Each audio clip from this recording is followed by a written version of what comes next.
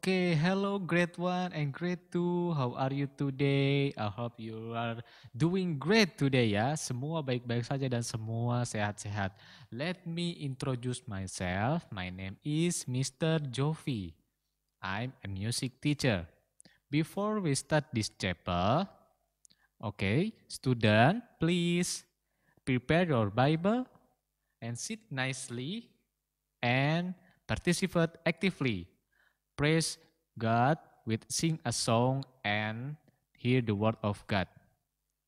Okay, let me lead in prayer. Let's do prayer. Heavenly Father, thank you for today. Thank you for this morning. And thank you for your love and your mercy. Thank you for the beautiful morning that we can woke up with healthy body, with healthy body. Please, Lord, bless us and bless the connection so we can do this chapel nicely. In the name of Jesus we pray. Amen. Okay. Are you ready? Please stand up. Oke, Mister tidak bisa stand up. Please stand up and we want to sing Yesus besertaku.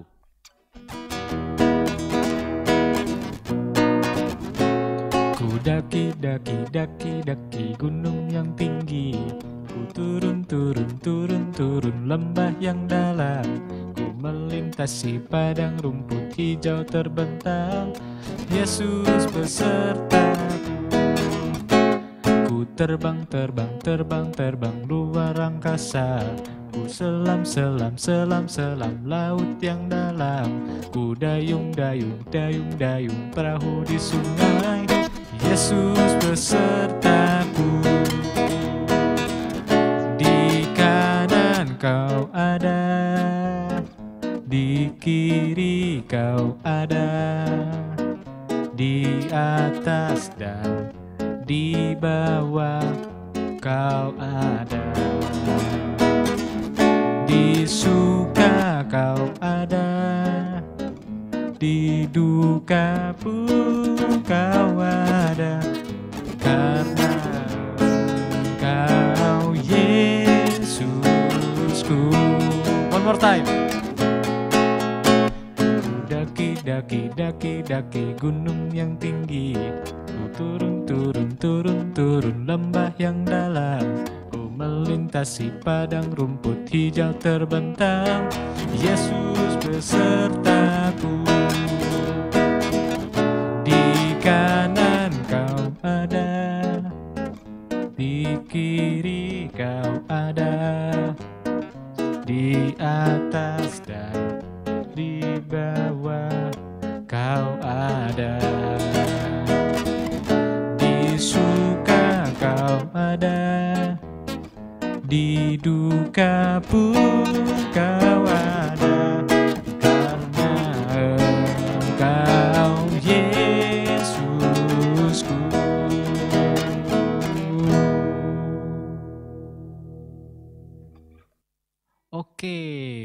we are grateful today because His mercy, because His love.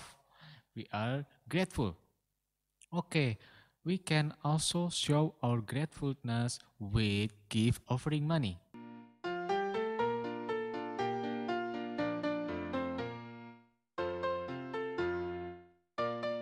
Before we start listen the word of God today, let us see baca kitab suci doa tiap hari.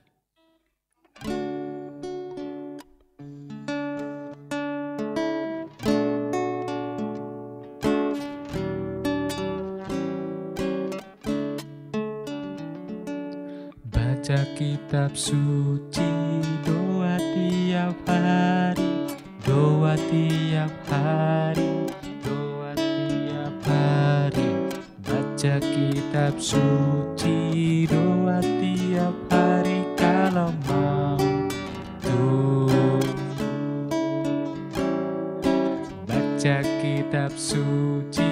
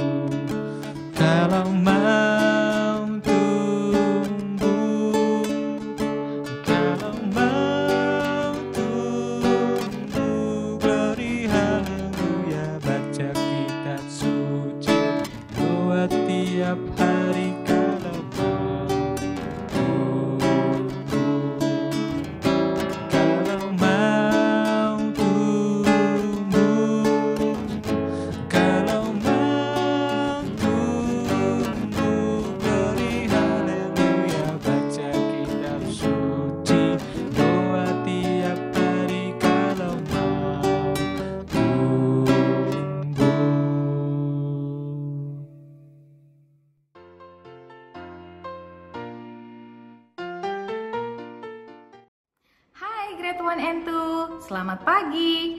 Apa kabar kalian hari ini? Miss Alfa harap kalian siap untuk mendengarkan firman Tuhan hari ini. Apakah kalian sudah menyiapkan Alkitab kalian? Kalau sudah, sekarang kita akan menyiapkan hati kita. Kita mau berdoa, minta tuntunan Roh Kudus agar kita mampu mengerti dan memahami firman Tuhan hari ini. Yuk kita mau berdoa, semuanya lipat tangan, tutup matanya, kita mau berdoa. Tuhan Yesus, terima kasih untuk pagi hari ini. Kami boleh kembali berkumpul. Kami telah menaikkan pujian kami, nyanyian kami.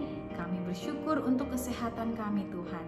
Sekarang kami mau mendengarkan firman Tuhan.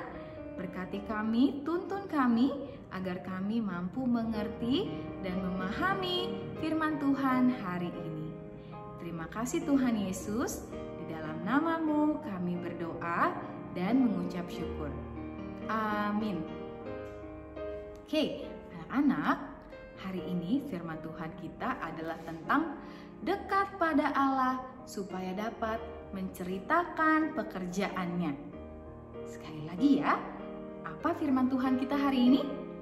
Temanya adalah dekat pada Allah supaya dapat menceritakan pekerjaannya. Oke, apakah kalian siap untuk mendengarkan firman Tuhan hari ini? Yuk kita buka ayatnya di kitab Mazmur 73 ayat 28. Oke, anak-anak bisa buka kitabnya di Mazmur 73 ayat 28. Kalau sudah, Miss Alfa juga akan bacakan. Anak-anak bisa baca juga di rumah ya. Tetapi aku, aku suka dekat pada Allah. Aku menaruh tempat perlindunganku pada Tuhan Allah, supaya dapat menceritakan segala pekerjaannya. Miss Alfa ulang sekali lagi. Tetapi aku, aku suka dekat pada Allah. Suka dekat kepada siapa? Kepada Allah. Supaya dapat menceritakan pekerjaannya. Ya, hari ini kita mau belajar. Kalau kita dekat kepada Allah, kita akan mampu menceritakan pekerjaannya melalui hidup kita. Hmm, contohnya seperti apa ya? Sebelum itu, kita lihat dulu Mazmur 73 itu tentang apa sih? Nah, Mazmur 73 ditulis oleh pemazmur Asaf. Pemazmur siapa namanya? Pemazmur Asaf ya. Jadi, di awal-awal pemazmur Asaf sedang mempertanyakan, kenapa ya orang-orang yang menyakiti hati Tuhan, orang-orang yang membuat hati Tuhan sedih, justru tidak pernah kesusahan, tidak pernah kesulitan. Kita lihat ayatnya di ayat 3 dan 4. Sebab aku cemburu kepada pembual-pembual. Kalau aku melihat kemujuran orang fasik. Ternyata dia cemburu dengan orang-orang yang suka berbohong. Sebab kesakitan tidak ada pada mereka. Mereka sehat, mereka gemuk, mereka tidak pernah mengalami kesusahan manusia dan mereka tidak kena tulah seperti orang lain. Nah, itu yang pemazmur Asaf tanyakan.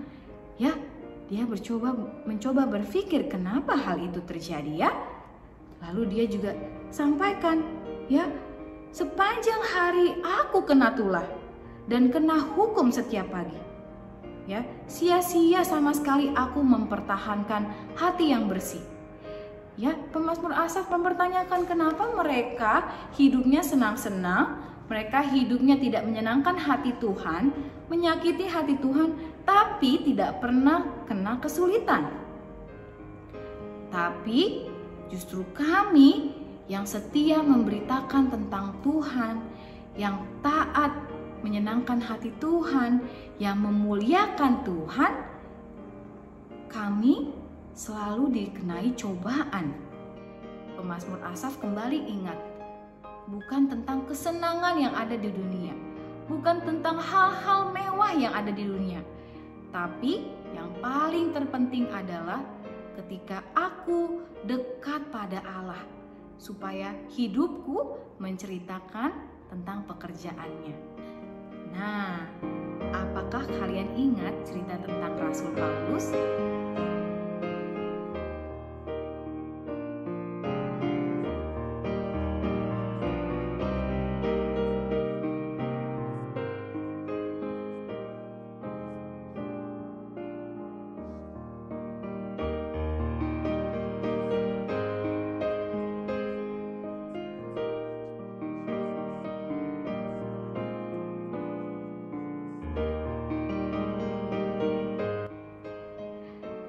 Rasul Paulus di penjara, apakah dia berbuat salah? Tidak. Apakah dia berbuat jahat? Tidak. Ya, dia memberitakan tentang firman Tuhan. Walaupun dia harus di penjara, dia kesakitan, mungkin dia sedih, ya, tapi dia suka dekat kepada Allah. Yang paling terpenting aku dekat dengan Allahku yang menjadi penolongku, supaya aku dapat menceritakan pekerjaannya.